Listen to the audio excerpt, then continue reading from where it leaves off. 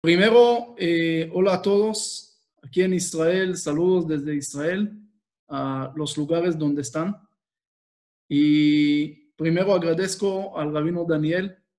Ya llevamos eh, tiempo atrás de conocernos en, eh, bueno, en México, en Colombia. Estuve en su casa en Barcelona, me dio incluso un lugar para dormir. Así que estoy muy agradecido por esto. hoy eh, no puedo llegar a Barcelona, es difícil, pero estamos aquí reunidos eh, a través de los medios. Primero, también, también tenemos que decir gracias a Dios por, eh, no por traer el coronavirus, sino traer el coronavirus después de traer todo lo que es la media, las redes sociales y todo esto, porque imagínense estar sin esto y con el corona metido en la casa, con la suegra, es complicado. Entonces, eh, gracias a Dios tenemos esto. De otro lado, con el permiso del rabino Daniel, como todavía ustedes en América Latina, lo que están de América Latina, están todavía el día del holocausto, quería nada más transmitir tres minutos del rezo eh, por las víctimas, los seis millones que fueron asesinados en el holocausto, que es el único tema que mientras más aprendo de ese tema, menos lo entiendo. Entonces, nada más empezamos con esto y que esa clase sea en memoria del hermano de Daniel eh, y también de todos los fallecidos y en éxito eh, para todos. Entonces, vamos nada más a empezar con esto y después vamos a comenzar eh, con la clase.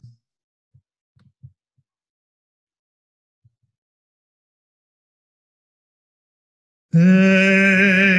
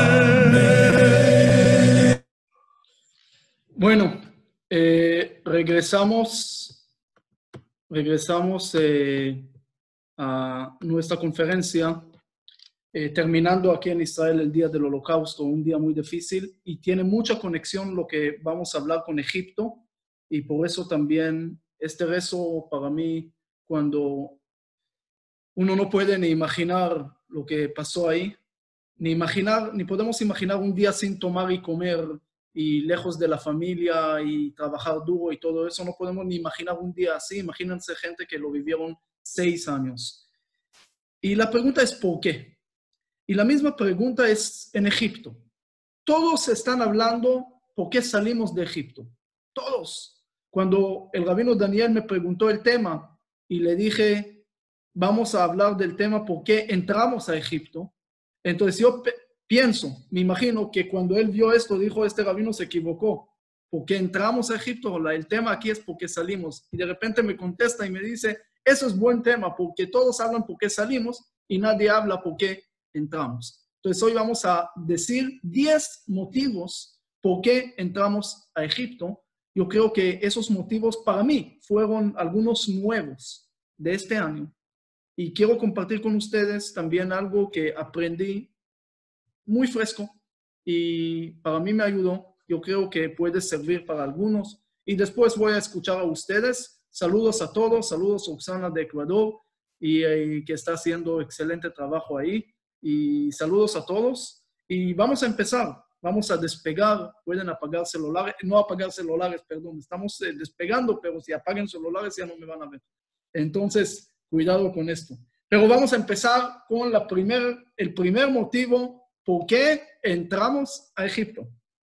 Ahora, bien, ustedes saben que desde Abraham, Isaac y Jacob ya pasó algo muy sorprendente, eh, que con Abraham hay, le voy a decir, a citar unos versículos nada más para que vean que lo que pasó con Abraham era el micro de lo que pasó después en macro. Era igual, igualito, y los versículos.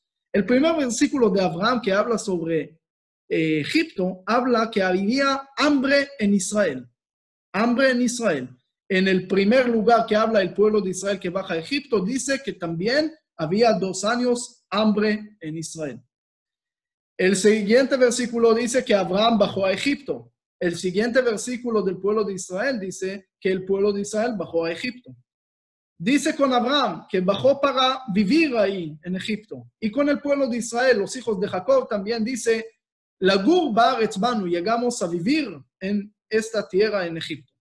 ¿Por qué? Abraham dice, porque hay Kikaveda Ra'av Baaretz, hay un hambre muy fuerte, y las mismas palabras, dice los hijos de Israel, dice, Kikaveda Ra'av Beretz Kenan.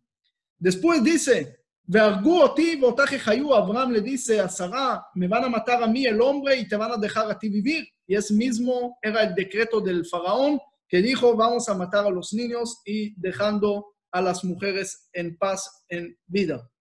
Después dice Abraham, cuando el faraón agarró a la esposa de Abraham, dice que Dios le dio plagas a faraón y también conocemos los diez plagas en Egipto después.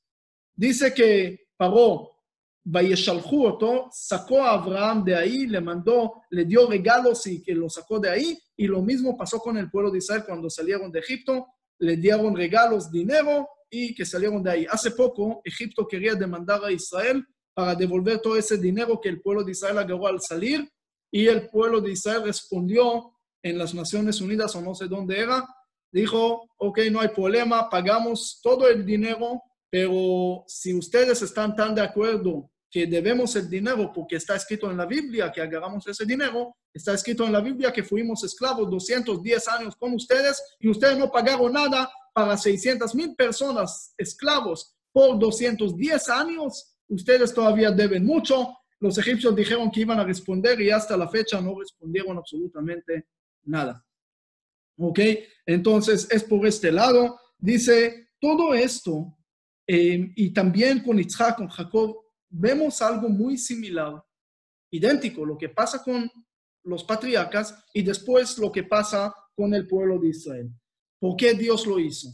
El primer motivo, aquí hay una enseñanza para apreciar la libertad, para apreciar lo que tenemos, a veces lo tenemos que sentir la otra opción. Es decir, cuando uno siente, por ejemplo, lejos de la casa, empieza a extrañar. Ahora tenemos el coronavirus, de repente empezamos a apreciar, eh, visitar a los eh, papás eh, que son mayores y ahora hay que tener cuidado. De repente gente que antes no apreciaban muchas cosas de la vida, empiezan a apreciar las cosas a veces de no tenerlo. En Pesach, uno que no come pan, de repente aprecia el pan aunque podría pasar años sin comer pan, pero de repente en Pesach se le antoja pan. La dificultad es algo muy importante para conectarnos a veces con las cosas. Le voy a dar un ejemplo. La fiesta más fácil que tenemos es Shavuot. De las tres fiestas, Shavuot. ¿Por qué? ¿Qué es fácil? Es comer cheesecake, es estudiar un poco. Y esa es la fiesta, un día nada más. La fiesta más difícil de esas tres es Pesach, siete días no comer pan, no comer nada de levadura, lavar la casa y miles de cosas y matzot. Y comemos esta matzá, no sé si todos conocen la matzá, es como algo, algo eh, muy delgado, que le preguntaron a un rabino qué hay que hacer para un enfermo de corona, que hay que darle de comer, y dijo la matzá, le preguntaron si eso es algo de sanidad, le va a, lo va a sanar, es una medicina, dijo no, es la única cosa que le va a entrar bajo de la puerta, porque es algo muy delgado, ¿ok? Pero si hubiéramos salido de Italia, tal vez podíamos comer pizza, pero salimos de Egipto, entonces comemos esa comida de pobres de Egipto. Y ahora algo interesante en estadística. ¿Cuánta gente cumple en Shavuot en Israel, la gente secular? Unos 15 a 18% de Israel. ¿Cuánta gente cumple en Pesach? 68% por lo menos eh, eh, cumplen y más de 80% no comen Hametz. ¿Qué quiere decir? Las cosas más difíciles, más gente lo cumple. Ahora bien, ¿cuál es el día más complicado del calendario hebreo? El Yom Kippur, el día del perdón, el más complicado, y es el día que más cumple la gente. Quiere decir, mientras las cosas más complicadas, la gente más lo cumple. Es increíble. En las generaciones pasadas podemos escuchar historias de, gente que entregaron la vida para poder cumplir salimos ahora en Israel del día del holocausto. Hay una historia de gente que no tenía nada y, querían cumplir el Pesach. Dijeron, Maror, la amargura no nos faltó, había mucho. Pero no teníamos el pan de la libertad y con todo eso entregamos casi la vida para cumplirlo. Y la gente cuando era muy difícil de cumplir, era muy fácil de transmitir. Por eso se transmitió el judaísmo. Cuando me dicen si el judaísmo fuera más fácil, hubiéramos cumplido, entonces yo le digo siempre, si el judaísmo fuera más fácil, no hubiera sido, no hubiera quedado como judaísmo. El secreto del judaísmo que miles de años todos los imperios del mundo lo querían eliminar, lo querían borrar y todavía sigue aquí y ellos no, es también por la dificultad. Cuando me, preguntaron, cuando me preguntan, bueno, ¿y cuál es el secreto de Israel? ¿Son más sabios? ¿Por qué ganaron 24% del premio Nobel cuando son 0.02 de la población mundial? Y yo le respondo, uno de los secretos principales, que ya no es secreto, porque lo estoy diciendo aquí en Zoom, es el síndrome del pueblo perseguido. Tanto lo persiguieron por todos lados, tenía que inventar de todo. Llegaron a Israel y no había nada y tenían que hacer todo de cero. Todo esto le desarrolla a uno y le da mucho más de lo que piensa. Un ejemplo mucho más fácil para que me entiendan. Ustedes tienen lo que tienen hijos, ¿sí? ¿Aman a los hijos? La respuesta, sí, claro, hijos amamos. Suegra es otro problema, pero hijos sí amamos. Eh, le voy a preguntar algo. El- cuando nace un hijo, nosotros, eh, él empieza a llorar, empieza a gritar, a hacer problemas, no trabaja, nunca dice gracias, dice, "Ha- hace todas las cosas, no nos deja dormir y mientras más pasan los días, más queremos a los hijos, más amamos a los hijos. ¿Por qué?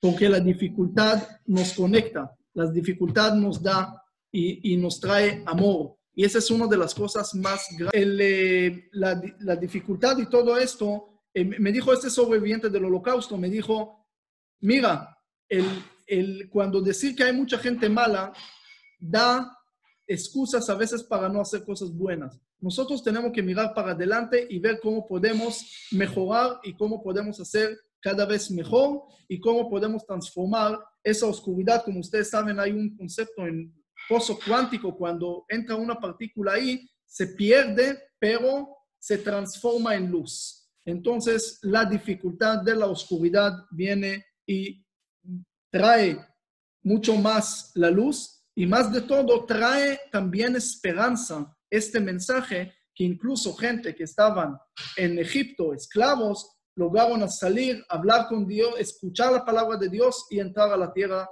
prometida. Ese nos da esperanza. Lo mismo, lo mismo, lo mismo de Egipto y eso lo vamos a ver al final pasó también con nosotros en la generación pasada, no con nosotros, con nuestros pasados, pero en esa generación que entraron a Israel, establecieron el Estado de Israel. Bueno, segundo motivo por qué entramos a Egipto. Egipto no es nada más un suceso histórico que bonito, que por eso entramos a Israel. ¿Qué pasó aquí? Señor, lo que está molestando busca una reunión donde hay cinco mil personas, no una reunión pequeña, porque no vale la pena hacer tanto esfuerzo de molestar a poca gente y muy lindas personas. Así que eh, muchas gracias. No sé quién está molestando, pero como es una clase de Egipto, tal vez llegaron los egipcios para escuchar qué pasa aquí. Pero quién sabe, yo no sé. No lo publiqué en Egipto, pero yo no sé. Bueno, seguimos.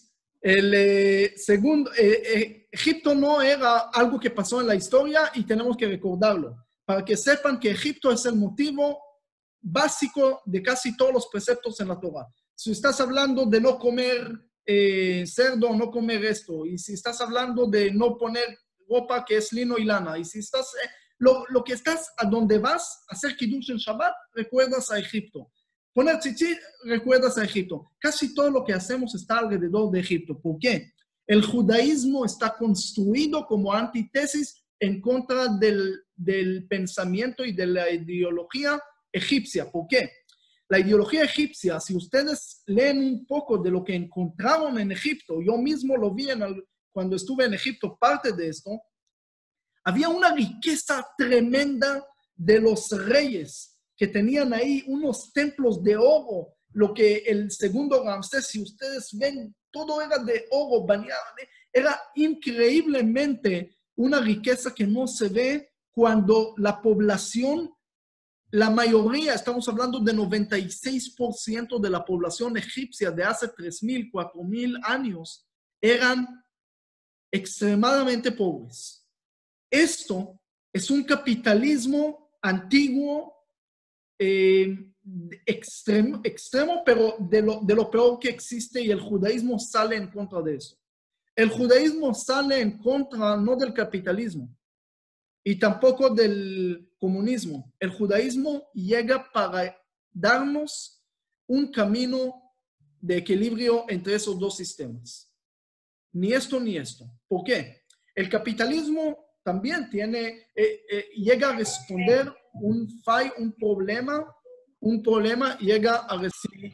Estamos hablando para responder al problema del comunismo o cuando estaban queriendo de alguna manera con lógicas, cuando uno lee el libro de Karl Marx, entonces de repente encuentra una lógica ahí de que, que todos tengan de alguna manera eh, unas oportunidades y la, el mismo dinero y de alguna manera podemos llegar hasta pensar del socialismo, tiene una idea muy linda, pero mata la motivación de la gente a trabajar. Por eso todos esos países comunistas fracasaron. Entonces el capitalismo llega a responder a esto, pero de esto nos trae un problema nuevo. La gente se vuelven adictos al trabajo, esclavizados. Eso es, ese era la esclavitud en Egipto. No era como ustedes pueden imaginar que, que los esclavos viejos. Era adicción al trabajo. Por eso 80% del pueblo de Israel no salieron de Egipto y casi los 100% no querían salir de Egipto. ¿Por qué? Porque estaban adictos y se volvieron como parte de los egipcios adictos al capitalismo egipcio extremo antiguo.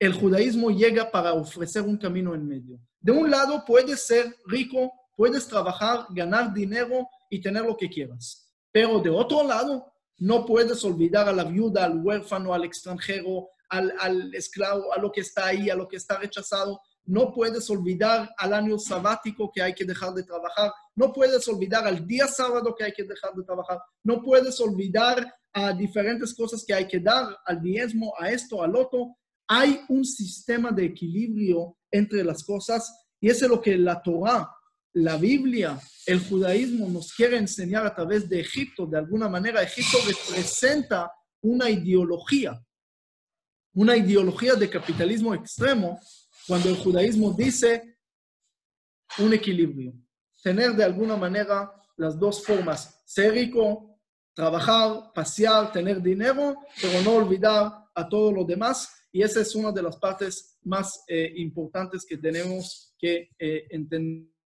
Esto es, el pueblo de Israel estaban en, el, en Egipto, sintieron en su propia carne qué es ser pobre, qué es ser rechazado, y esto lo que tenían que, eh, de alguna manera, eh, pasar a las otras generaciones. El tercer tema, ¿por qué eh, entramos a Egipto?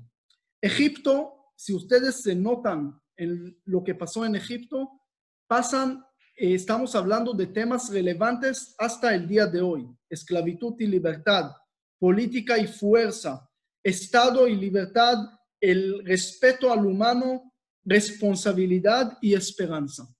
Esos temas, estamos hablando de la historia de Egipto, es los mismos temas que hoy el mundo sigue discutiendo. El mismo tema, tal vez no como esclavo que ustedes pueden pensar de que tenían que trabajar 30 eh, años en algún campo, en algún lugar. Tal vez eso casi no existe hoy en día, pero todavía existe tipos de esclavitud que tenemos que mejorar el mundo y todos los sistemas que se discutieron en Egipto siguen discutiendo el día de hoy, son temas relevantes y Egipto representa todo esto. Entonces, para construir un mundo, el, le voy a explicar algo. Si yo voy a hablar con eh, gente, por ejemplo, que estaban en eh, problemas, y yo le voy a hablar, hay, hay un tipo en Israel que vive en un edificio en el piso 40 tiene todo el dinero del mundo y le dice a la gente, señores, no todo el mundo es dinero, tranquilos, no vayan a hacer tanto ruido por ganar más dinero o menos dinero. Este tipo no puede hablar de su lugar a la gente pobre y decirle consejos. La gente, cuando quieres influir, tienes que llegar del mismo eh, lugar, como hablar en la misma altura a la persona que estás hablando, así puedes influir. El pueblo de Israel, después de Egipto, puede hablar de estos temas después de sentir y ser parte de esto, puede transmitir esto mejor. El pueblo de Israel sintió que es estar rechazado y esto nos lleva al cuarto motivo. Dios quiere enseñarle a todo el mundo a través de Egipto un mensaje para todos, para cualquier religión, cualquier persona, en cualquier lugar. Para mí es uno de los mensajes más fuertes que existe y ese tal vez le va a aclarar el tema del pueblo elegido. Porque preguntan, una vez estuve en El Salvador y había uno que me besó el saco y me dijo, uh, sos el pueblo elegido. Entonces yo le besé también su camisa y le dije, sos también el pueblo elegido. Me dijo, pero yo no soy judío. Le dije, por eso. Me dijo, ¿cómo así? Le dije, si estás aquí, ¿qué es? ¿Porque te caíste del cielo sin eh, que nadie se dio cuenta? ¿O que alguien te puso aquí? Ah, si alguien te puso aquí es para un propósito. Si es para un propósito, sos elegido para hacer algo. Ahora vamos a investigar qué, pero sos elegido. Entonces todo el mundo son elegidos. No hay ninguno aquí que no es elegido y no importa a qué religión pertenece y de dónde llegó. Todos son elegidos por Dios para estar aquí. Y aquí había al principio a David Vigio que tenía cumpleaños y algunos tal vez más. Y el cumpleaños es el día que Dios decidió que el mundo no puede seguir sin ti. Y esa es verdad. Entonces, ¿qué es el pueblo elegido cuando hablan del pueblo de Israel? Vamos a ver en la Biblia. ¿Quién hizo esa pregunta al principio? Abraham. Dios le dice que su pueblo va a ser elegido. Y Abraham le pregunta, ¿y cómo voy a saber? Entonces Dios le contesta, tranquilo, papito lindo, vas a saber porque tu pueblo va a estar esclavizado 400 años. ¿Y esto qué? Aquí está. El pueblo elegido no es elegido para ser superior. El pueblo elegido es elegido para pasar un mensaje específico al mundo. Escuchen todos. Dios no olvida incluso al esclavo. Los egipcios construyeron pirámides muy grandes. A mí me dijeron que los judíos construyeron esto, pero no es verdad aunque tiene lógica que le gusta trabajar cada día menos, como es la pirámide, pero en realidad era construcción egipcia de antes. Y ellos construyeron esto, los griegos construyeron sus cosas grandes, arquitectura, edificios, porque dijeron, Dios es grande, se conecta con la gente grande. Y Dios a través del pueblo de Israel en Egipto nos transmite otro mensaje. Señores, yo me conecto también con los pequeños y no olvido de nadie, incluso del último esclavo de Egipto porque los saqué. Al pueblo de Israel los saqué de Egipto no porque eran más sabios, más grandes, más justos o más bonitos. No, en ese momento eran idólatras. También, sí, dice que el pueblo de Israel en Egipto eran idólatras. Ni hicieron la circuncisión, no hicieron nada. No cumplieron ni cumpleaños, no hicieron nada. Entonces, ¿por qué los sacó? Los sacó porque eran rechazados. Los sacó porque eran minoría. Los sacó porque eran pequeños. Los sacó porque eran muy alejados y a través de eso nos enseña a todo el mundo, nunca puedes desesperarte, nunca puedes olvidar de Dios. Y miren bien, no sé si ustedes conocen el último libro de Freud, el último discurso de Moisés. Él habla ahí sobre Moisés y él dice que Moisés era una copia idéntica de las mitologías pasadas, de Edipo, de Paris, de Horus y de otras eh, imágenes de la mitología que salieron de una familia eh, que lo encontró un pobre, pero en realidad eran de una familia rica, pero lo metieron en el agua, como exactamente otras mitologías, y lo sacaron de ahí. Para mí es totalmente al revés. Moisés es lo contrario, la parte opuesta de todas esas mitologías. ¿Por qué? Porque en esas mitologías ellos nacen a una familia rica, lo encuentra un pobre, pero dice que en realidad llega de una familia rica. ¿Por qué dicen esto? Para justificar su origen. Ah, pero eh, su papá era pobre. No, no, no, no. Su papá verdadero era un rico, pero pasó esto, esto y esto. Con Moisés es al revés. Dice que lo encontró un rico, es decir, la hija del faraón lo encontró, pero nos dice, no, no, no, él no fue de ese origen eh, de sangre azul, él fue hijo de esclavos. Es totalmente opuesto. Moshe, Moisés en, en egipcio, se dice meses, meses es niño. niño cualquiera. Ramsés es el niño de, de- de- Dios de alguna manera. El niño de Dios, que es el rey, en este momento el Ramsés el segundo, contra Mesés, contra Moisés, el, eh, el niño eh, desconocido que lo encontraron en algún lugar. Ramsés el segundo nos dejó pirámides y cosas grandes. Mesés, Moisés, no dejó ni tumba. No sabemos dónde está enterrado. Es totalmente otra cosa. El pueblo de Israel no tenía tierra durante miles de años. Y había países que tenían tierras grandes como todo el mundo. Y ellos no están, y el pueblo que no tenía tierra sí está. Eso es uno de los mensajes más fuertes de Egipto. Este mensaje nos enseña, Señor, no importa si sos el rey del mundo, si no haces las cosas correctas, no vas a conectarse con Dios. Y no importa si sos el niño más desconocido del mundo, si vas a hacer las cosas correctas, vas a ser el más fiel de Dios. Eso nos da el término que es elegido para enseñar este mensaje al mundo y decirle, señores, nosotros llegamos de la nada. El pueblo de Israel no dice "Se- somos sangre azul, llegamos de una cosa muy increíble. No, no, no, señores, mundo. Nosotros llegamos del peor lugar del mundo. Nosotros llegamos de un pueblo de esclavos, un pueblo rechazado, un pueblo de minoría, pero podemos salir adelante. Y si nosotros podemos, ustedes también. Ese es el mensaje. Ese es el mensaje más fuerte que queremos enseñar, que queremos transmitir, que debemos transmitir. Que no importa si vas a tener un edificio muy grande. Los imperios que tenían territorios se desaparecieron. ¿Por qué? ¿Saben por qué? Einstein dijo que cada cosa que tenía, tiene eh, eh, materia, tiene tiempo. Es una de las dimensiones. Cuando dependes de algo material, de un territorio, de un edificio, se va a acabar. Se va a terminar como los romanos, los griegos, los babilones, los egipcios, se va a acabar. Pero si dependes de la palabra, de la transición, de, las generaciones a generaciones, no de una tumba de Moisés, porque ese no lo tenemos. Tenemos las palabras de Moisés. Eso lo que sigue hasta el día de hoy. Eso es lo que está vivo. Hace poco leí la historia otra vez de Rabbi Hanina ben Tradión. Era un rabino de la época del segundo templo. Cuando llegan y lo matan, en- después de la destrucción del segundo templo, llega el, eh, ahí el go- gobierno romano y lo mata de una forma muy trágica. Agarra un libro de Torah, un libro de la Biblia, del- de la escritura, y lo enrollan con esto, le ponen unas esponjas con agua para que no se muera rápido y em- lo empiezan a quemar con el libro más sagrado.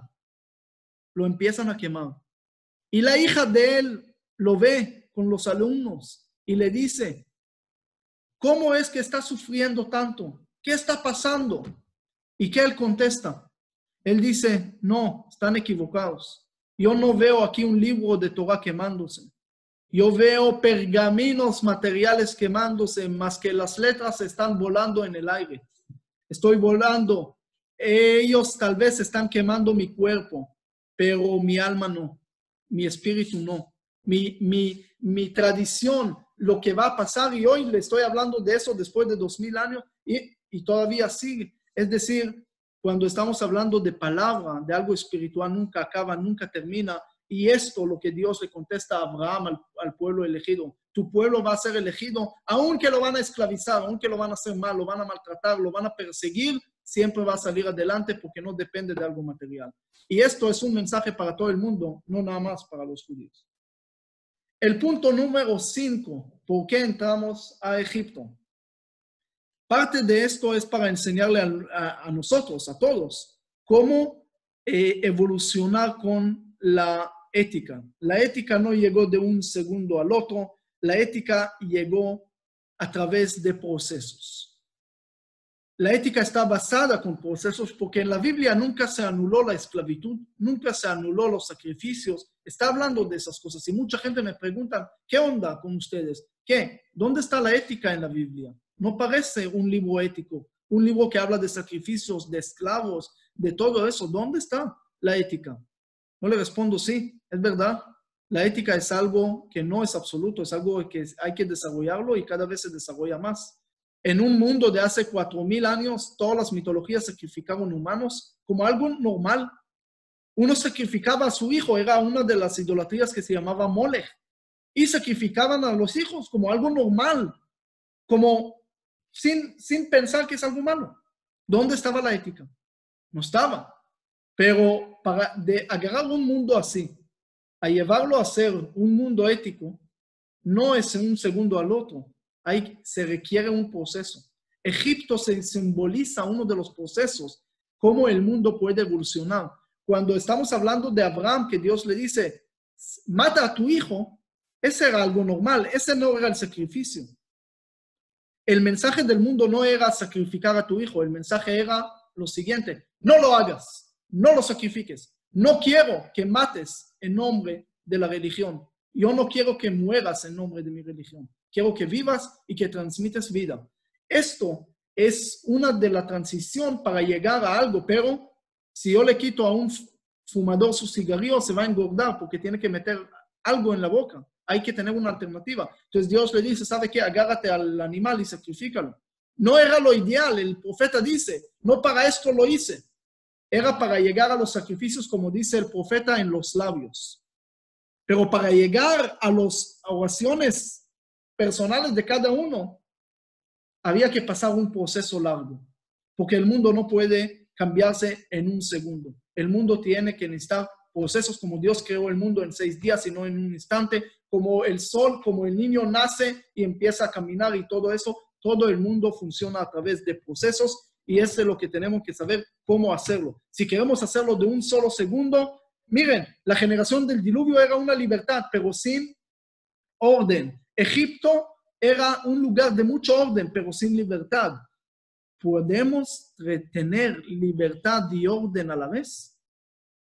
sí, con las leyes que recibieron en la Biblia, que fueron la base de la ética. No eran la ética como expliqué en alguna clase pasada, era la base de entender cómo desarrollar e influir la ética a través de procesos.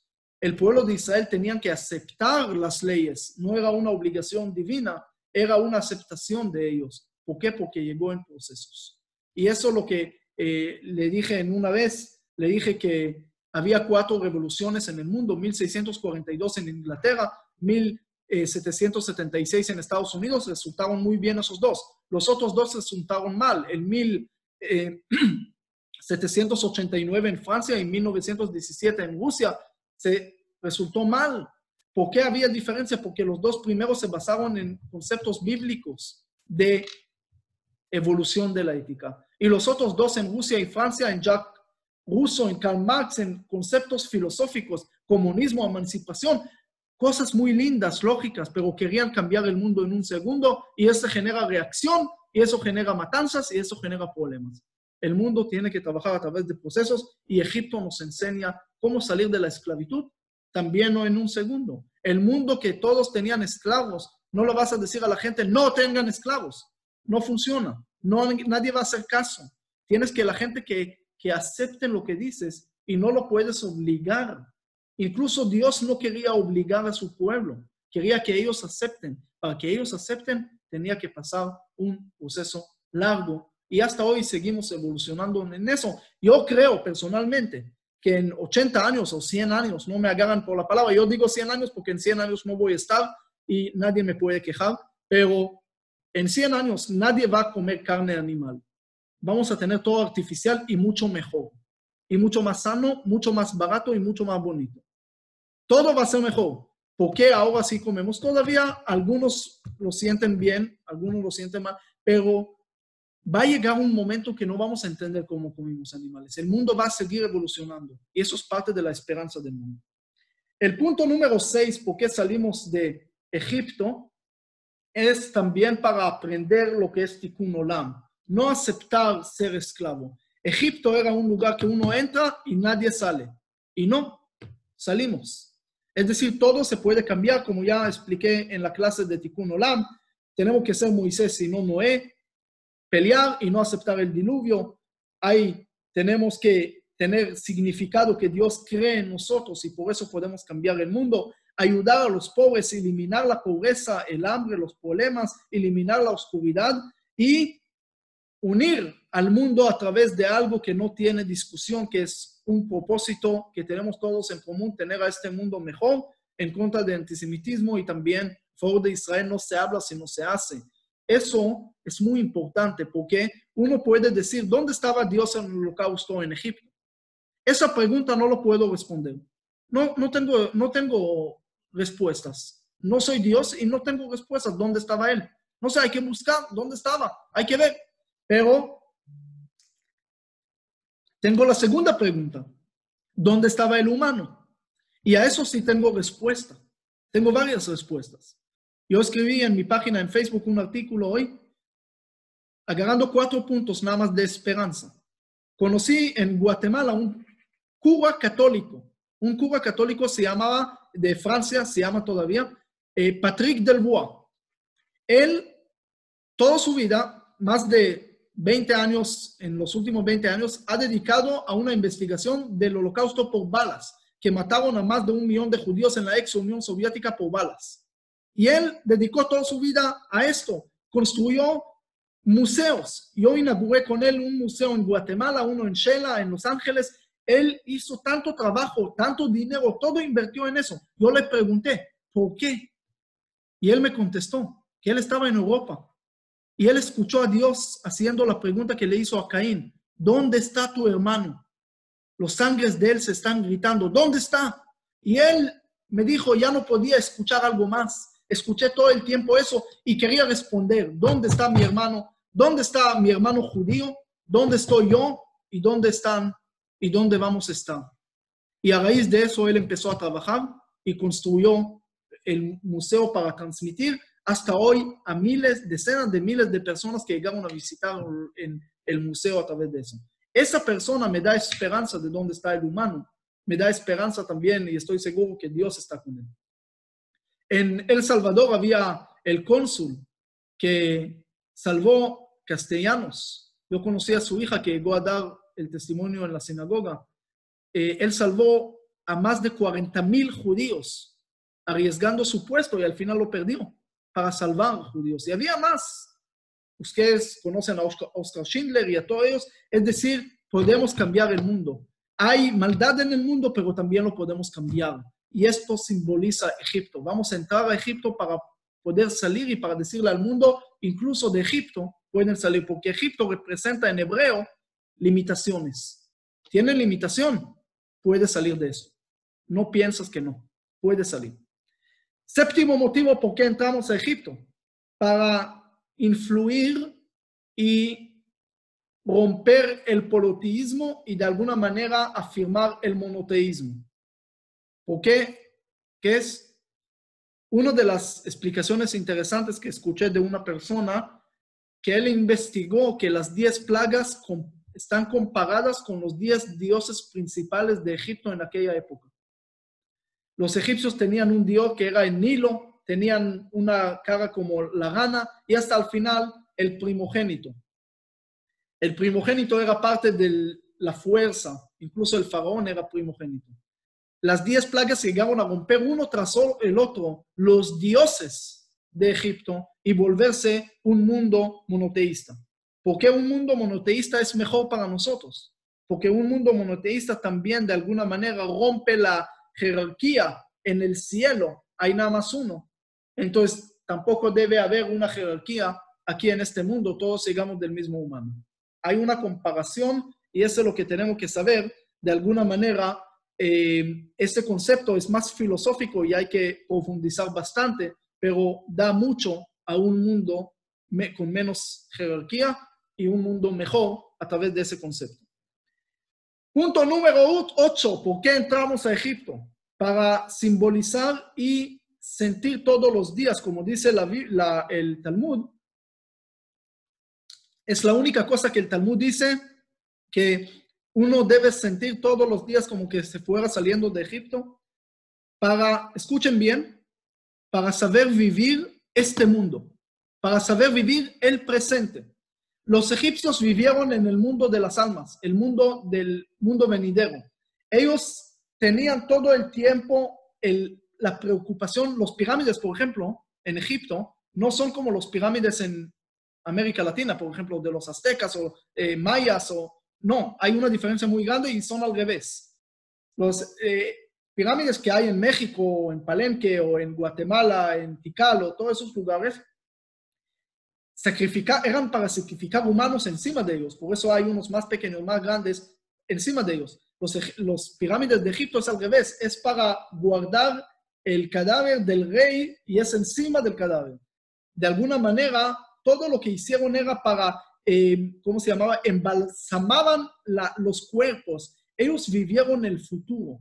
Y el pueblo de Israel, ustedes saben que en la Biblia no aparece ni una palabra sobre el mundo venidero, ni sobre el, lo que va a pasar. Y, es decir, hay profecías, pero no habla eh, de, de todo eso del mundo de almas. Es más desarrollado después, pero no habla ahí, no porque no existe, sino porque te quieren transmitir el mensaje, Señor, deja de vivir esto, viva en el presente, viva lo que está pasando aquí, disfruta de lo que tienes aquí, no nada más de lo que puedes tener. Hay gente que todo el tiempo están esperando a mejorar la vida. Uno dice cuando es niño, hay una canción de eso, de un señor mayor que dice en hebreo, eh, dice que él está haciendo el resumen de su vida. Así se llama la canción que él está haciendo. Y dice así, voy a empezar cuando nací. Ah, no me acuerdo nada de esa época. Bueno, seguimos. Cuando era niño, ah, no hay nada interesante como todos los niños. Cuando era joven y había amores y novias y esto, ah, había problemas, me rompieron el corazón, no sé qué, esto, lo otro. Mejor cuando me casé y iba a ser feliz. Ok, empiezo. Ah, no era tan felicidad. Llegó la suegra aquí, esto, loco, dos problemas por todos lados. Mejor cuando llegaron los hijos. Uh, problemas también, esto. Cuando ellos se casaron, oh, también. Y así dice que encontraron el viejito en la mañana muerto encima de un papel en blanco que arriba estaba escrito, ese es el resumen de mi vida. Para hacer resumen de la vida hay que despertar temprano y pensar presente. Si uno piensa demasiado futuro, nunca va a llegar. Había un filósofo que dijo que hoy en día la libertad está hablando en hebreo desde la salida de Egipto. La libertad correcta es hacer las cosas hoy. Estás libre para hacer. Mañana todavía no lo tienes. Entonces, tu libertad existe nada más en el presente. El punto número 10, eh, antes del punto número 10, podemos preguntar si en realidad somos libres, porque hay unas investigaciones que hicieron en Stanford que la mente tiene conocimiento, sabemos, es decir, el cerebro sabe hasta siete segundos antes que tomamos una decisión que íbamos a tomar sí o no. Es decir, nosotros actuamos de acuerdo a genética que tenemos al ambiente y a miles de intereses que ya tienen o impulsos o lo que sea. Entonces, ¿en realidad somos libres o no? Y la respuesta es no 100%. Actuamos mucho por impulsos y por miles de cosas más que tenemos alrededor. Entonces, ¿cómo podemos ser libres? Egipto nos muestra esto. Para ser libres hay que adquirir costumbres con tiempo y esto al final te van a facilitar tomar una decisión después. Cuando uno ahora come chocolate, a veces no es porque en realidad él decidió comer chocolate, porque él sabe que le va a hacer dolor de estómago y no sé, otras cosas, o uno que va a fumar un cigarrillo. Sabe que le va a hacer daño, pero lo está haciendo porque ya lo decidieron antes que él tomó la decisión. Su cerebro, porque ya es adicto a esto. Eso es Egipto, adicción. Salir de esto, ser libre, no es tan fácil. Salir de Egipto tal vez es fácil, pero sacar a Egipto de nosotros es lo más difícil que existe.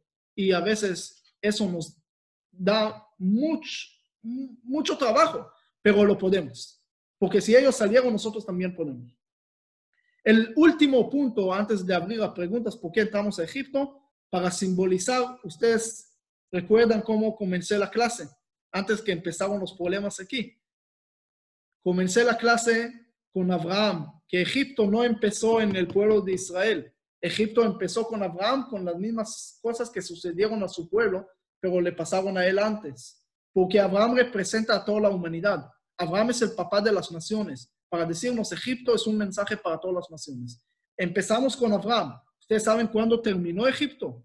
no en el año 2448 del calendario hebreo, no. Egipto termina, sigue terminando hoy. Cuando regresamos a Israel después del holocausto, se cumplió la profecía de Ezequiel, Ezequiel en hebreo, de los huesos secos, que él ve un lugar, un valle con huesos totalmente secos. Y él dice, ¿eso qué es? Y Dios le muestra cómo entra el espíritu y todos empiezan a revivir.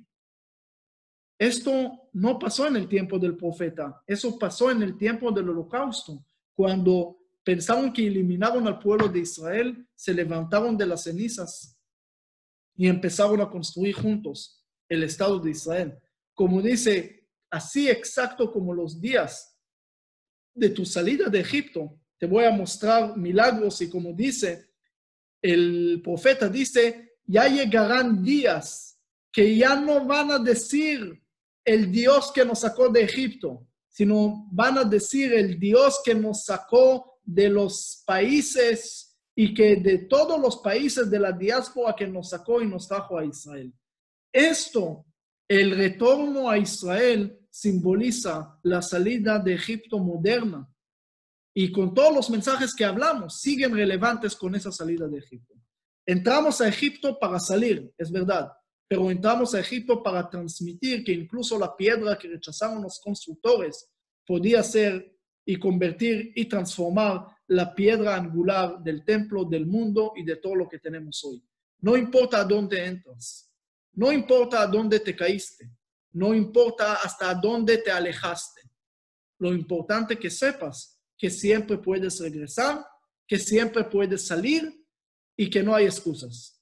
Porque si el pueblo esclavo después de 210 años salieron de Egipto, entonces tú también puedes salir de tu cuarentena, de tu corona, de tus problemas, de todo lo que hay alrededor. Hay esperanza. Vamos a salir, vamos a tener un mundo mejor, vamos a tener un mundo más unido, vamos a tener un mundo con mucho más cosas porque sí podemos hacerlo. Y eso es lo que tiene, y por eso exige el judaísmo que el, el Egipto tiene que ser presente todos los días en la mente. ¿Por qué? Porque da mensajes relevantes todos los días. Todos esos días mensajes que tal vez lo voy a resumir rápidamente para abrirlo a las preguntas. ¿Ok? Primero eh, motivo, vimos que incluso los patriarcas bajaron a Egipto para también valorar, apreciar y conectar con lo que tenemos. La dificultad nos conecta, nos da valor y nos da eh, la fuerza de apreciar todos los días lo que tenemos, eh, no como una persona que nació en riqueza y todo, sino una persona que nació pobre, sabe apreciar mucho más lo que tiene. Después de la oscuridad, el pueblo perseguido logra desarrollarse gracias a todo esto. Egipto, segundo motivo, es el motivo número uno de todos los preceptos que hay, porque es en contra del capitalismo extremo, de agarrar todo para los ricos y líderes y dejar a todo el pueblo en pobreza extrema. El judaísmo es en contra de esto. Y entramos a Egipto para basarnos en todo esto y de alguna manera tratar de traer la parte opuesta para poder tener un mundo mejor. El pueblo que sintió esto puede ser elegido para esto. Tercer motivo, Egipto representa temas relevantes como esclavitud, libertad, política, fuerza, Estado, respeto, responsabilidad y esperanza. Número cuatro, Dios no olvida incluso a los esclavos. Nunca podemos tener, eh, pensar que somos rechazados. Dios siempre está conectado incluso con el más pequeño y la criatura más pequeña del mundo.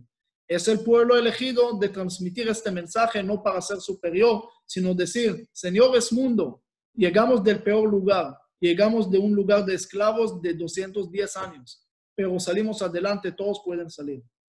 Cinco es la evolución de la ética, cómo cambiar e influir cada uno en lo que quiere a través de eh, procesos.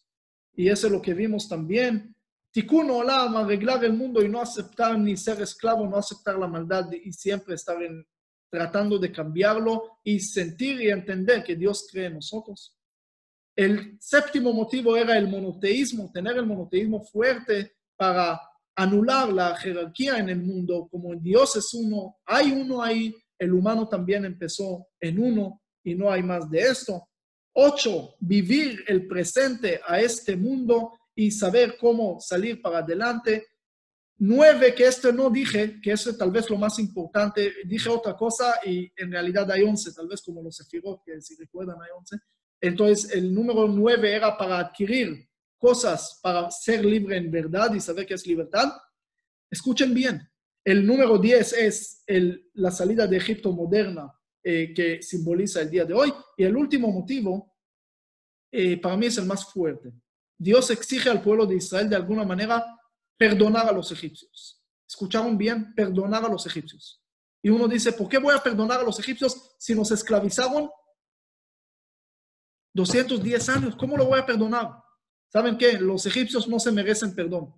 Pero Dios le dice al pueblo de Israel, perdonen para no llevar todo el tiempo la bandera de ser víctimas. Ustedes tienen que salir para adelante con las fuerzas, sentir autoestima y no sentir humillados, víctimas todo el tiempo me hicieron, me persiguieron, me mataron, esto, el otro, todo el tiempo atrás, no vas a avanzar a ningún lado. Una de las cosas que le digo a mis amigos árabes, dejen de sentir todo el tiempo atrasados y sentir que todo el mundo quiere en contra de ustedes. No. Pueden salir adelante también ustedes, todos pueden salir adelante. Dejen de sentir todo el tiempo víctimas. Lo que siente víctima al final va a perder. Nosotros podemos ser pueblo de Israel, como dije, como dice la Biblia, en, en Egipto.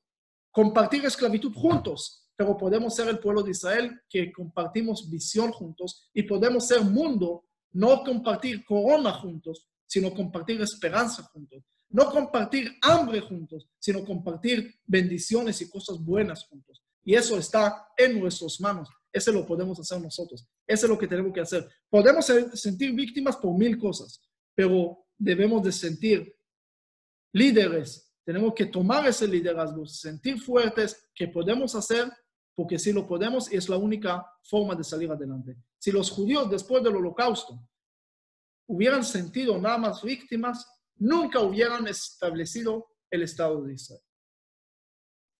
Esto es perdonar, no porque queremos perdonar a los egipcios, sino queremos sacar de nosotros esa rabia para poder seguir adelante. Vamos a abrir, eh, Juan Daniel, vamos a abrir a preguntas. Las preguntas que las hagan, por favor, por el chat. Ajá. Hacemos las preguntas por el chat, que sigan con sus micrófonos eh, cerrados. La gente, por favor, que escriba sus preguntas al chat eh, de manera pública para todos. Ok. Bueno, aquí dice saludos, saludos, saludos. Ese no es pregunta, me imagino. Entonces yo también saludo, también shalom los que están en la mitad del mundo, más de todo aquí, que es la mitad del grupo. Entonces, eh, aquí también saludos. Eh, ok, la persona que molestó aquí fue a molestar a otros lugares. Eh, ok, ok. Son dos, dicen aquí. Es como la gana en Egipto, trajo más. ¿Ok?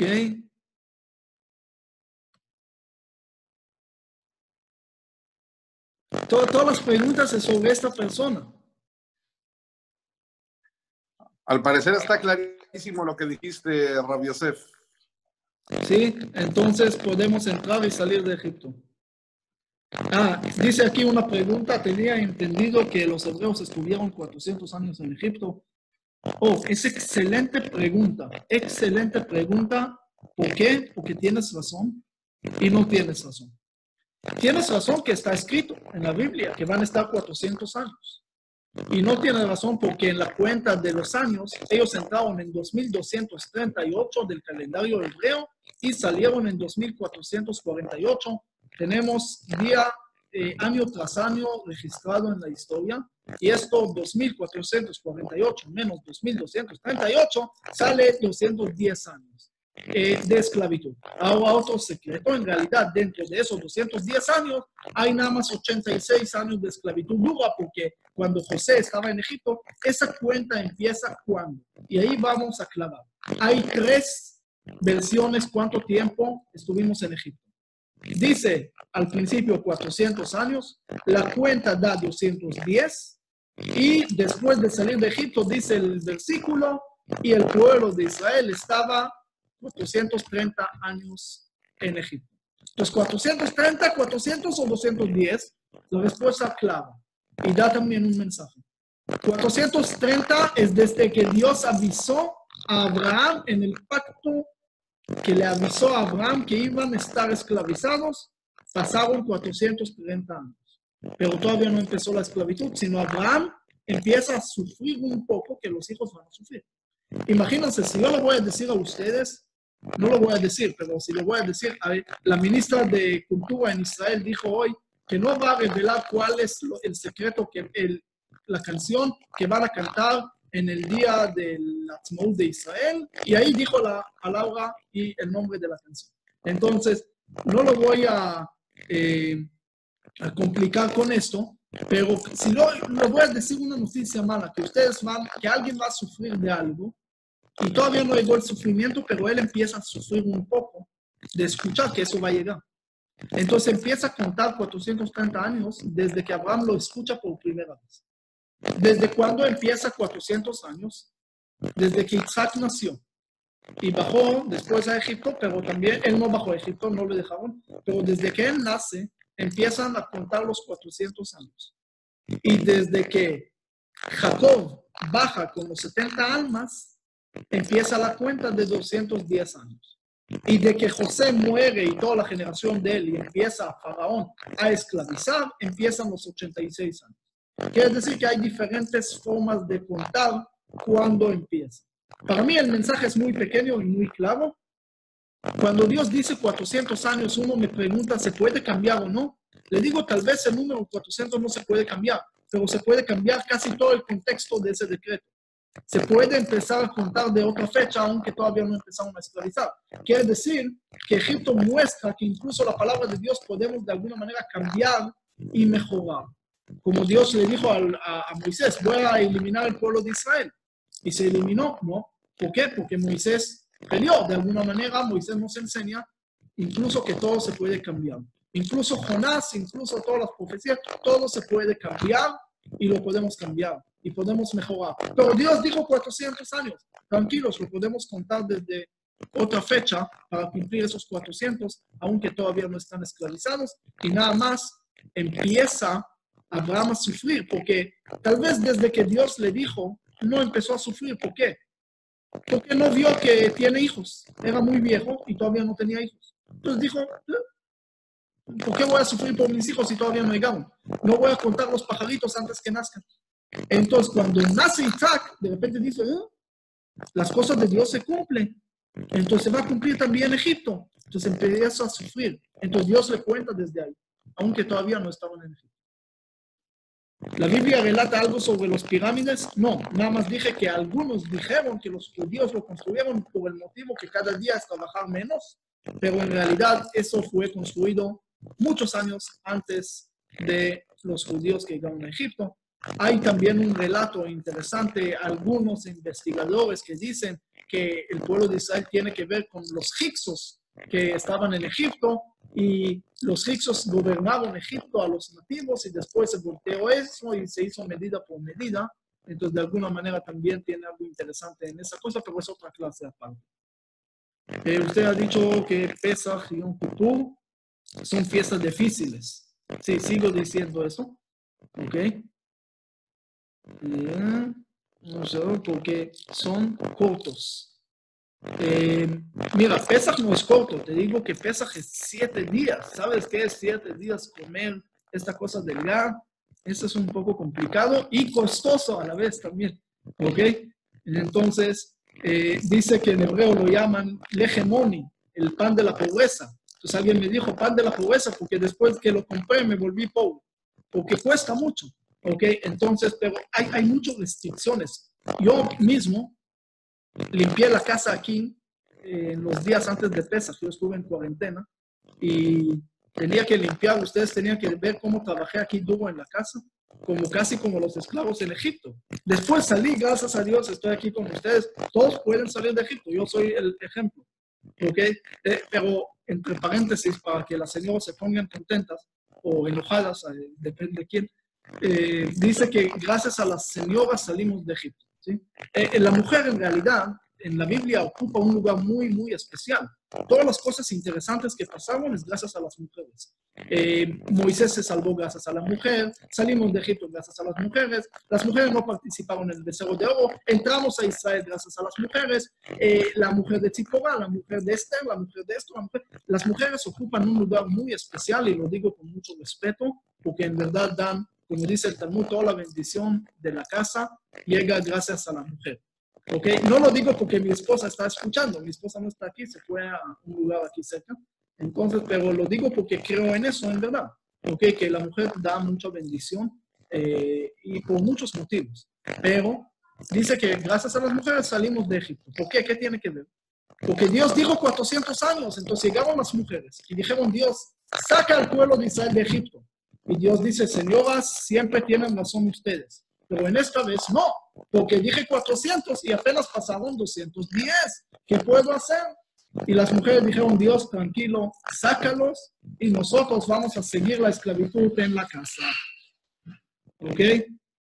Entonces, eh, ok. Ah, perdón, perdón, no entendí la pregunta bien. Dice, Pesaj es más complicado porque es un mes de preparación eh, y una semana, ¿sí? Y un Kippur es un día. Sí, tiene razón en esa pregunta.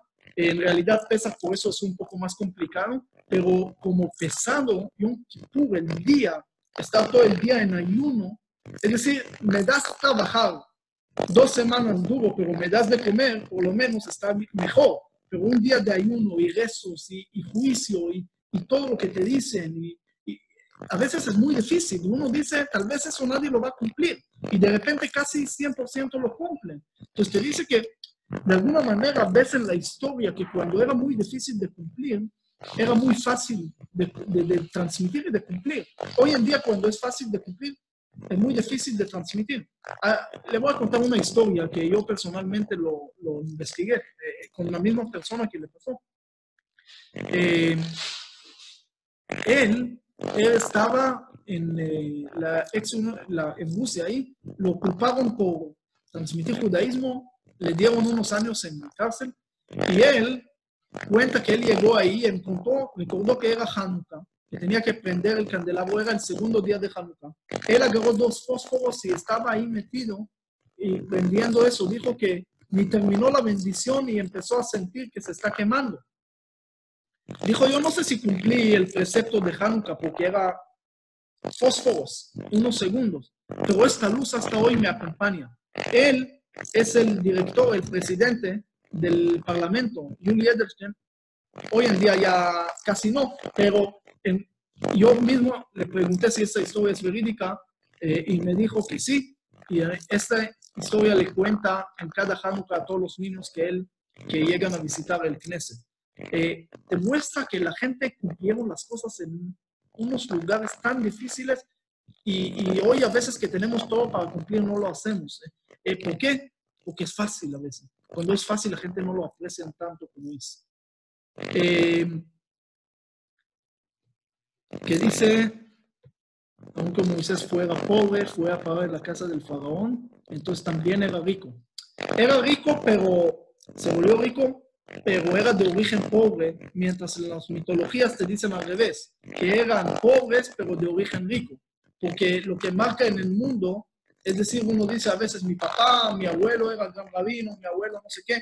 Entonces, el origen le da mucho. Yo llego de, de la raza, de, la, de los nazis, la teoría de Hitler y todo esto. Todo estaba basado en esto y, y por eso ellos siempre querían justificar en las mitologías, por ejemplo, eh, de, ¿cómo se llama? De Horus o de eh, Saragón, que, que en realidad él estaba en familia pobre, pero en realidad su origen era muy noble. Don, ¿qué es don? De origen noble. Él llega de origen especial y Moisés, la Biblia nos tra- trata de decir al revés. ¿Lo ves en familia rica? No, no, no. Él llegó de una familia pobre. En realidad su origen es pobre para enseñarnos al revés. Por eso en eso discuto con el libro de fondo. Dice, podría aclarar el motivo de autoridad, libertad, esclavitud. Eh, bueno, la ex- de alguna manera la autoridad, es decir, cuando hay en la generación del diluvio, como dije que hay una diferencia entre el diluvio y Egipto. En diluvio no había orden. Cada uno robó de todo, lo- dice Malares jamás, todo era problema, no jamás del terror, pero parecido. Todos eran ladrones por todos lados, ¿ok? Y de alguna manera el, eh, no había nada de orden, ¿ok? Sin orden, y por eso mataron uno al otro. Y había libertad. Ahora, en Egipto trataron de poner eh, eh, esclavitud, limitar la libertad, pero había mucho orden. Porque Egipto era, para lo que saben historia, era uno del, tal vez el país que más anotó y más orden tiene en su historia en, hasta el último detalle. Egipto era uno de los lugares más ordenados. Eh, para mí siempre me lleva el nazismo con los egipcios en muchos puntos, que es otro tipo de clase que podemos dar, pero hay muchos puntos de similitud entre esas dos. Eh, entonces la pregunta es, ¿podemos tener orden y libertad a la vez? ¿Hay un ejemplo de un lugar donde hay orden y libertad? Es decir, no hay un dictador y hay orden. Sin policía encima y hay orden. Y a- hay también libertad. A veces se contradicen. Hay algunos filósofos, incluso David Hume, cuando dijo que hay valores que no pueden vivir juntos. Por ejemplo, verdad. Verdad es un valor, ¿ok? Hay que decir la verdad. Y paz. No pueden vivir juntos, porque si vamos a hablar nada más con la verdad, llega alguien y me dice, mira, y el saco que compré, ¿qué tal es? Y yo le digo la verdad, muy, muy feo, yo no sé por qué lo compraste, porque digo la verdad. En un día se destruye el mundo con la verdad. Si todos van a decir nada más la verdad, imagínense, primero las suegras, ¿cómo desaparecen del mar? Y todos los problemas entre hombre y mujer y todos los problemas entre personas y en negocio, nadie va a hacer casi negocio. Y cada uno cambia un poco aquí, cambia un poco allá. La verdad a veces molesta, es decir, de alguna manera, al paz, a lo que es paz. ¿Pueden vivir paz y verdad juntos? Es una pregunta muy difícil. No es tan fácil. Yo pensé que es muy fácil. Claro, claro, hay que ser verdad y hay que tener eh, paz. Es muy fácil de decirlo, pero piénsenlo mucho. Cuando uno dice la verdad y nada más la verdad, es complicado. Es una amenaza a paz. ¿Qué hay que hacer? Es otra pregunta. Pero piénsenlo. Dice el Talmud, en una, una de las cosas que dice el Talmud, ¿qué pasa si llegan los novios? Y el novio te pregunta, ¿y mi novia? ¿Y esto? Y es la cara de Tisha B'Av. Hoy va, voy. ¿Qué le vas a decir? Que dice el Talmud, tienes que decir que es muy bonito. Le tienes que, que dar el compromiso. Eh, ¿Y por qué? Es una mentira. No importa, no siempre tienes que decir la verdad. Oh, ¿cómo? ¿Son mentirosos? Que ver. Le voy a decir algo que tal vez algunos saben, pero para mí sigue siendo fuerte todos los tiempos que lo escucho. Cuando en la Biblia Sara le dice a Dios que cómo va a tener hijos si su marido es viejo. Cuando Dios le cuenta eso a Abraham, lo cambia. No le dice eso. Le dice que Sara me dijo que cómo voy a tener hijos si yo soy vieja. Pero ella no dijo eso. Ella dijo que Abraham es viejo. Dios cambió para hacer paz. Es muy delicado ese asunto. No podemos mentir para hacer negocios. No podemos mentir jamás. Pero tampoco tenemos que decir todas las cosas que nos salen en la lengua para decir la verdad y destruir al mundo. Lo mismo, libertad y orden a veces se contradicen. Pero el judaísmo en Egipto, a través de Egipto, nos enseña cómo puede tener de alguna manera ética pacto con Dios, pero sin que Dios nos obliga, sino aceptarlo, que el pueblo tenía que explicar. Que el Moisés, por orden de Dios, tenía que ir a explicar al pueblo y escuchar dos veces que el pueblo acepta. Es un momento que el mundo puede entender en una evolución. Hoy en día es mucho más fácil entenderlo, pero en un mundo primitivo de hace 3.000 años era muy difícil. o libertad. Pero podemos formar eh, una sociedad que entiende las lógicas de la ética y ser éticos sin que alguien nos exige serlo. Entonces, de alguna manera, es eh, algo, un hilo muy delgado que pasa entre esas dos cosas. Eh, siempre se habla en todas las charlas de ayudar, ayudarnos uno al otro, con palabras, eh, darse la acción. Debe haber el estudio para poder conectar el, concepto ayudamos unos al otro. Excelente, excelente, excelente. ¿Quién lo hizo? Esa pregunta, Raquel. No sé si todavía está aquí, pero excelente. En otras palabras, en Colombia, si hay alguien que en Colombia, ahí dicen puro tilín, tilín, nada de paletas. Hay mucha gente que hablan, pero que en realidad no hacen nada. Eh, eso sí, esa es una pregunta, eh, una pregunta, o no tanto pregunta como una afirmación triste, que hay muchas palabras en el mundo. Si yo podía agregar todas las palabras que se escuchó de ayudar uno al otro, ya nadie necesitaba más ayuda, porque nada más con las palabras. Pero lamentablemente con las palabras no se puede eh, solucionar las cosas, sino con acciones. Sí, en realidad, eh, eso es lo que parte de mi vida trato de hacer, de enfocar en acción. Cuando pasó la tragedia del volcán, había mucha gente que hablaban de construir casas, muchísima gente. Y todos por el buen corazón, todos, todos querían ayudar. Y cuando nosotros también dijimos, entonces, le dije a un amigo, mira, ¿qué tal si vamos a buscar un lugar donde se puede construir? Me dijo, pero no tenemos nada. Sí, pero vamos a buscar. Fuimos a buscar. Llegamos al primer lugar, a un terreno. En Escuintla me dice, mira, aquí, bueno, ¿qué costo tiene esto y esto? Bueno, si ustedes pagan, hacemos un contrato. Eh, señor, espérate, no tengo el dinero. Ah, si no tienes dinero, ¿por qué me haces perder el tiempo? Y llegamos al segundo lugar, al tercer lugar, y así, hasta que llegamos a un lugar que le dije, mira, era el último lugar porque mi amigo ya estaba enojado. Me dijo, ya, no, tampoco todo el día aquí. Entonces le dije, mira, un trato. Dame 10 lotes pequeños para construir, empezar a construir. Yo te prometo de alguna manera pagarlo. No sé cómo, pero de alguna manera. Pero yo te aseguro algo. Empecemos y vas a ver cómo todo se va a llenar. Y empezamos con una casa. Llegamos medios. Me dijeron, ¿qué dices? Y esto está todavía en fin. Le dije, yo no quiero hablar todavía porque no hicimos nada. Yo quiero hacer acciones y esto va, van a hablar. Y hoy en día estamos casi llegando a mil casas y hay escuela que se está construyendo ahí. La clínica ya está, tenía que inaugurar el mes pasado, pero por el corona no lo inauguramos, pero está construida un centro de, de, lugar de ambiente social, tenemos canchas de fútbol, canchas de básquet, tenemos diferentes cosas y fundaciones que trabajan ahí. Mira, muchas cosas se volvió un lugar ejemplar. ¿sí? también con una acción pequeña.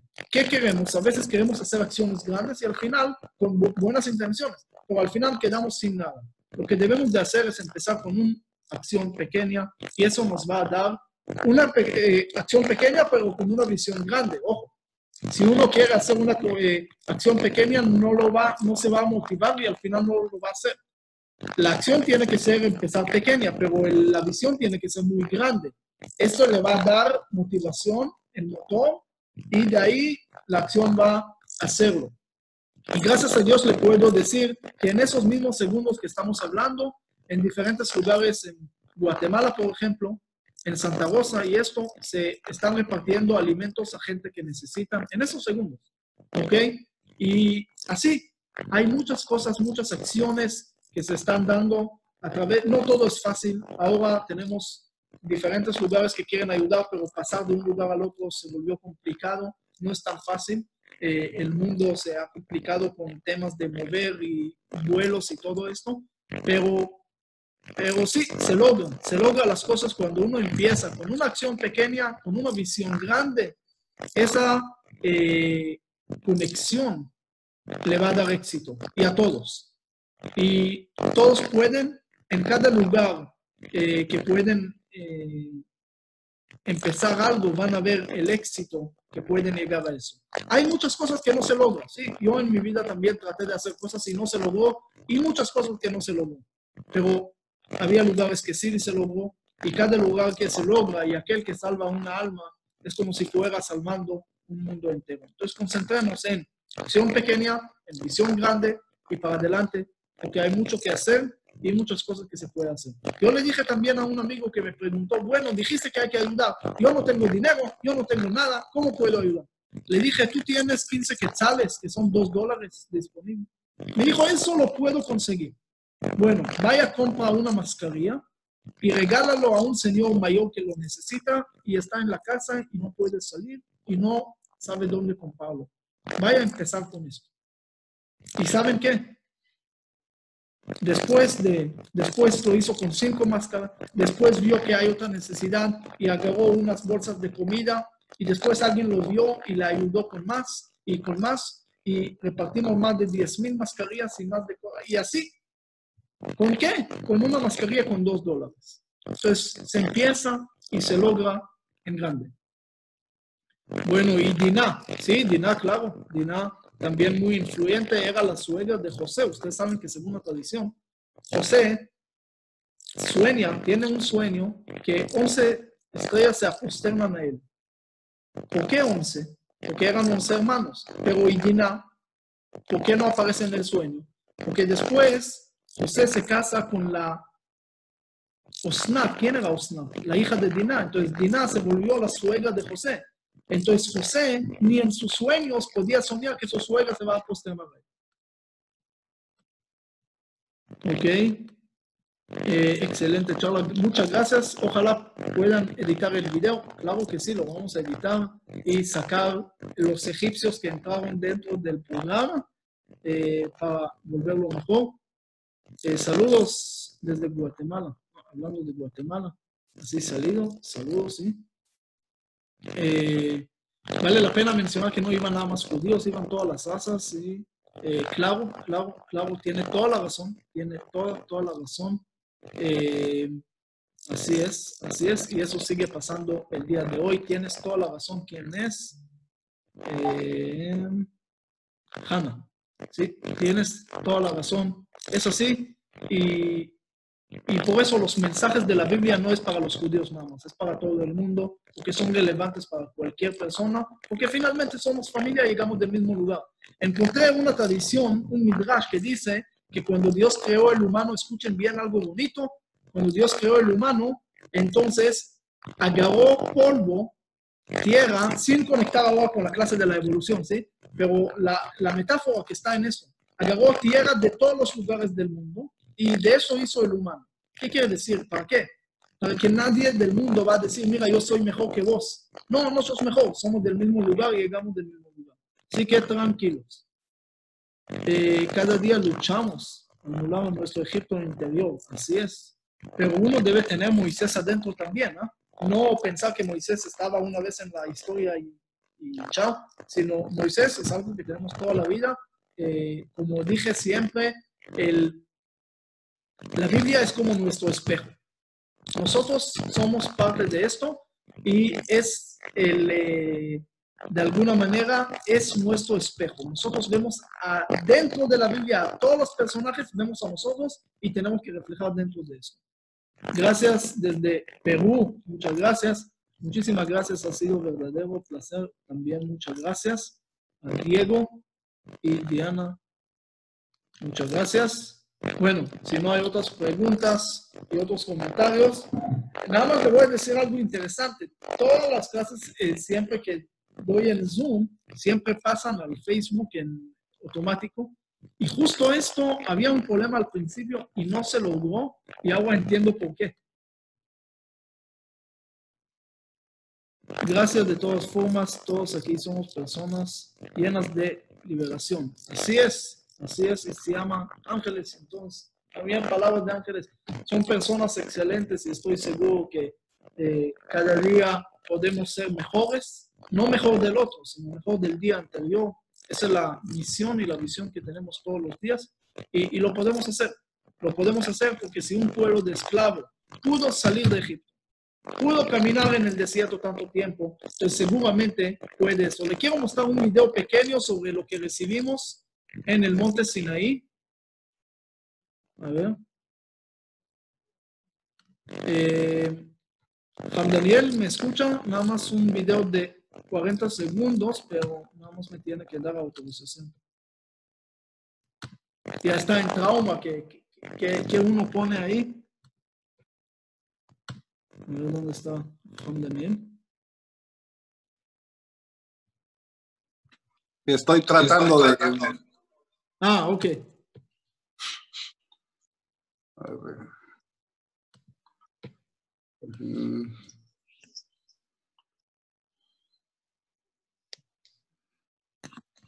A ver, a ver. Trata. Un segundo. No, todavía no. Me pusiste en grande, eso sí, más bonito, pero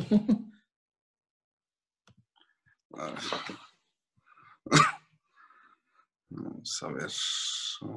Bueno, si no, no pasa nada. Pero es un video lindo de algo de 40 segundos. Pero para mí tiene un mensaje atrás. A ver si hay un A ver, mensaje sí. atrás. Se dice host, a ver si. Eh, gracias, sabemos que el camino no fue fácil. Así es, tampoco tenían Waze. Mira que tardaron 40 años ahí en el desierto, no era tan fácil. Pero bueno, vamos a hacer esto un segundo. Ah, un segundo. Un segundito. Ok.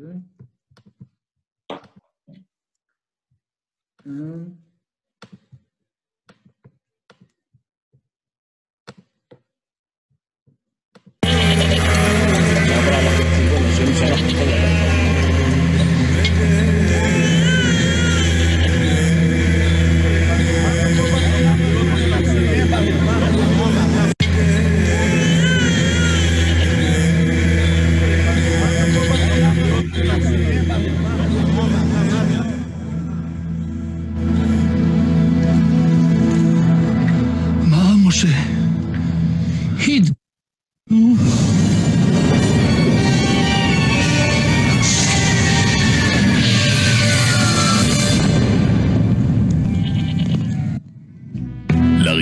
בישראל, איתורן משיקה את איתורן GPS, מכשיר ה-GPS המתקדם והחדשני לרכב. להזמין ברשת חנויות איתורן, יבואני הרכב ובסקל דיוטי פרי. איתורן, איתך לאורך כל הדרך. ¿Por qué le mostré esto? Porque creo que todo el tema de la entrega de la palabra no es nada más palabra histórica. Es el GPS de nosotros hoy en día, no nada más las palabras, no nada más los preceptos. Uno piensa que a veces nada más la palabra de Dios era lo importante. Era importante, pero todo el camino era parte de la enseñanza, no era nada más eh, un medio para llegar a, era parte de lo que tenemos que aprender. Y esos 10 motivos, en realidad, que se volvieron de repente 11, nació un motivo ahí dentro de la clase, se volvieron 11. Y en algún momento voy a sentar para escribirlo, eh, así para que lo tengan también escrito y lo voy a publicar pronto. Pero esto, eh, para mí, muestra que no nada más la salida de Egipto es importante. Mucho más importante entender por qué entramos, cómo entramos, por qué salimos y el camino. Todo esto son parte del GPS de la enseñanza. No nada más las palabras, no nada más las obligaciones. Porque más de todo, no es nada más qué cumples, sino es cómo lo cumples. Es mucho más importante. Y eso es lo que creo que aprendemos eh, de Egipto y de todo esto. Eh, vamos a ver, gracias por abrir un poco. Desde Sevilla. Uh, ahí espero que están muy bien. Eh, a ver si hay otras preguntas. Bueno, Daniel, creo que estamos bien. Si quieres, eh, es que yo, yo le voy a pedir algo del rabino Daniel para también decirnos algo así eh, sobre ese tema o sobre cualquier tema también, eh, para que sepan que el rabino Daniel, eh, para lo que lo conocen ya lo conocen, pero lo que no conocen, eh, aparte de saber mucho de la Torah, sabe mucho de historia eh, y de muchas cosas interesantes eh, y detalles que no conocemos.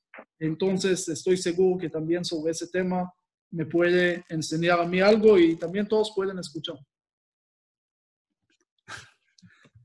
Gracias eh, al Rabio Yosef. Eh, pues no, bueno, más que nada, darte las gracias darle las gracias por este shiur tan increíble que nos ha dado. Eh, sabemos que hemos tenido problemas técnicos, pero los hemos podido solucionar al final. Eh, de gente que de alguna manera quiere eh, pues, impedir que nosotros terminemos estudiando Torah. Pero la realidad es esta ningún virus, ni ningún, eh, ningún antisemita, ni, ningún, eh, ni ninguna persona malintencionada, ni nada nos va a parar de seguir estudiando Torah, de seguir haciendo mitzvot, de seguir eh, pues con nuestro camino, con el camino de la Torah y lo más importante, a final de cuentas es, como tú dijiste, este es el GPS es eh, la tradición, eh, las mitzvot, eh, todo esto son los que nos están marcando el camino y estamos agradecidos más que nunca por esta tradición que nos marca ese camino y por la comunidad, por la gente que lo transita con nosotros. Que Besrat Hashem tengamos únicamente Besorot Tobot, que tengamos buenas noticias y que se acabe todo esto pronto y nos podamos reunir eh, todos juntos otra vez en comunidad.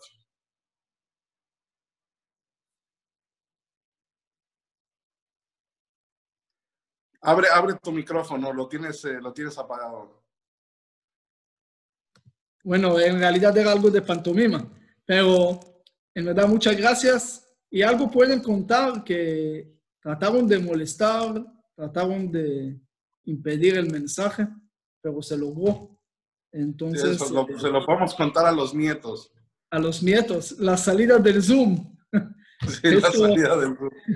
Si en algún momento vamos a comer el chocolate este que tiene muchas vacas pequeñas ahí del dibujo, que parece el Zoom de las vacas, entonces para que me dice, uno me dijo que en algún momento los nietos de nosotros van a caminar al súper y la mamá va a tener una mascarilla antes de Pesach y le van a decir, mamá, ¿por qué antes de Pesach pones mascarilla en la compra de, de los productos? Y ella va a decir, porque los abuelos también lo hicieron y nosotros seguimos la costumbre. Así que siempre hay cosas que contar y hay cosas que hacer. Pero bueno, es otra cosa. Hay que poner en los periódicos de mañana, en toda la prensa, que el nivel de antisemitismo subió y hasta una clase en el rincón del mundo lo querían molestar. Eso te lo encargo a, ti. Listo. Bueno, gracias, gracias. A ver, hay algo en el chat, a ver qué pusieron ahí.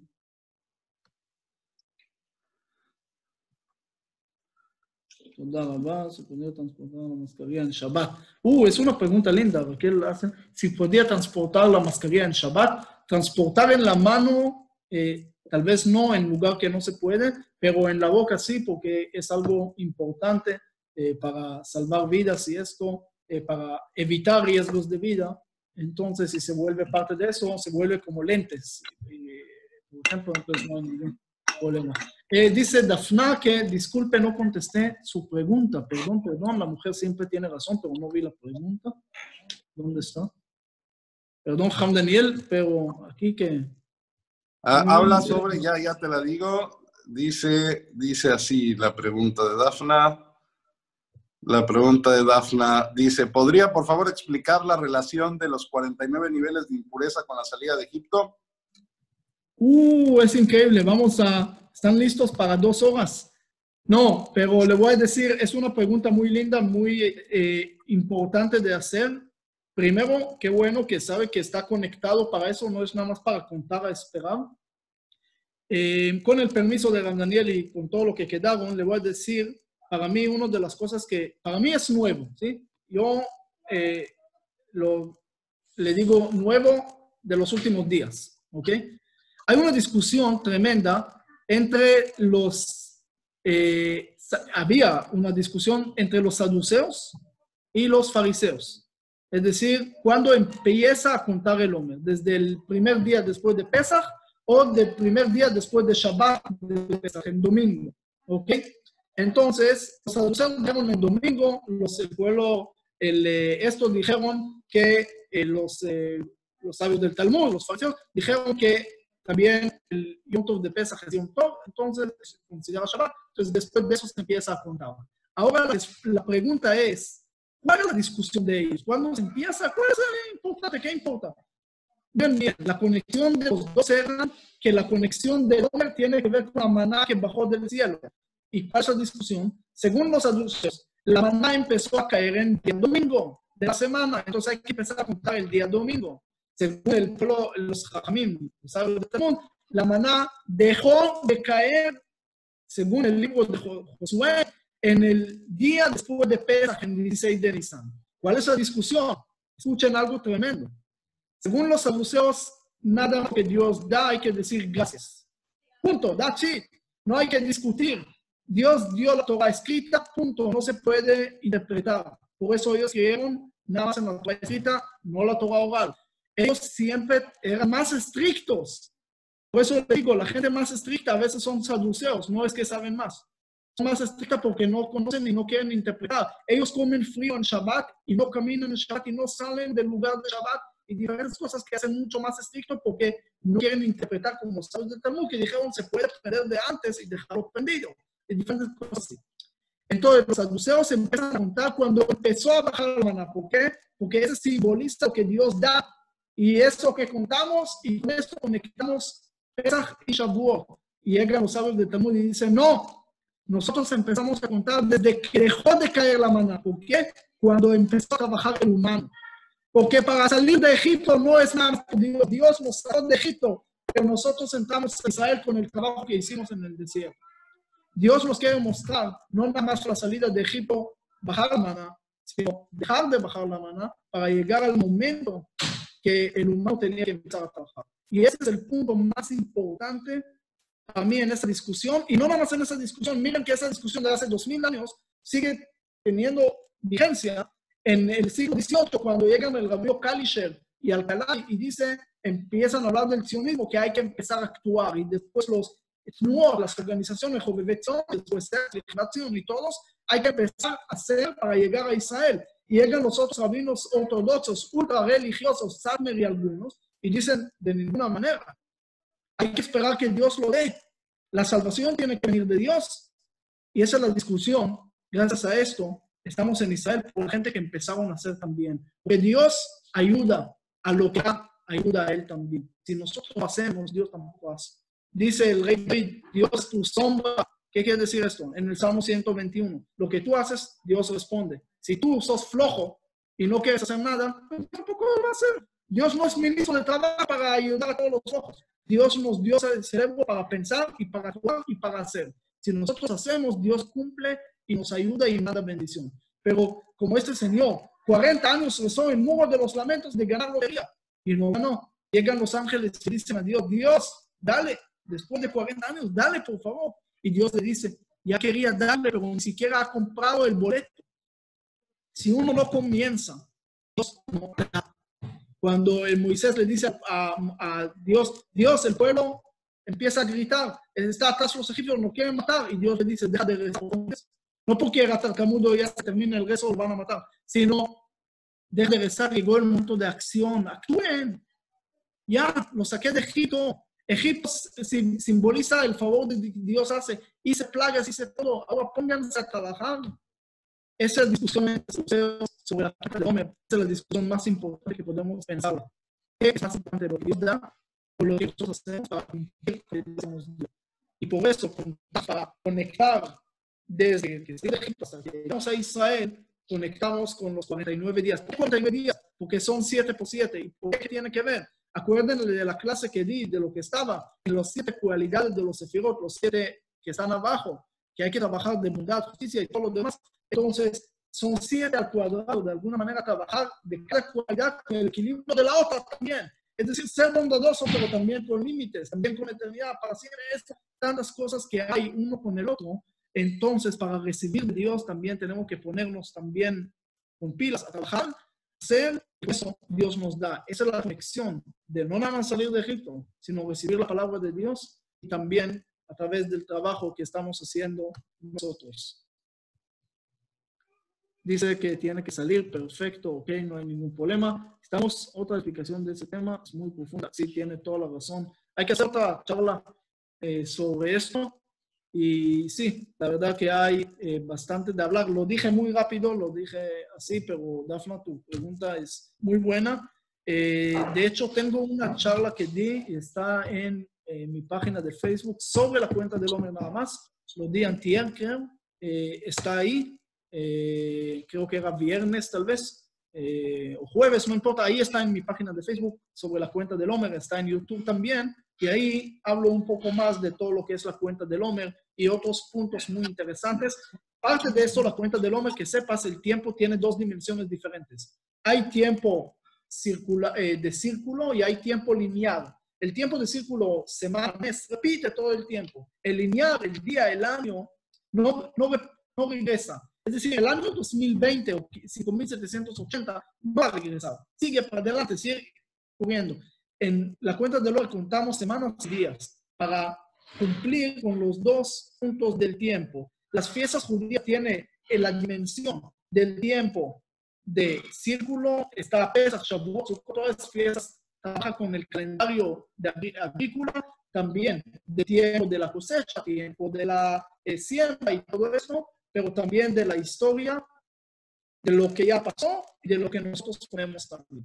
Esa es una eh, combinación entre el tiempo, tiempo en círculo a tiempo lineal, de alguna manera conectar los dos. Y hay mucho más que hablar sobre esto, la verdad. Son temas muy profundos. Lo voy a dejar toda la noche, nada más hablando de esos. Y, pero eh, igual, muchas gracias a todos por sus lindas preguntas, por su paciencia, eh, a pesar de lo que pasó, pero gracias a Dios estamos bien y vamos para adelante. Así que muchas gracias, eh, Rabino Daniel. Muchas gracias a todos. Gracias a usted, Rabbi Yosef, por este shiur. Mesrat Hashem, el primero de, de, varios. Así es. Pero si no, si no me apagas eso, yo sigo hablando, así que tienes que apagar. Bueno, nos vemos. gracias, gracias. Gracias.